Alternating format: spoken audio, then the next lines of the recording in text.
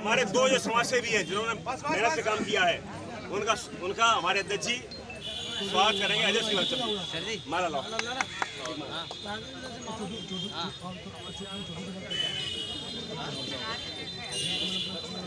Mohan Mata.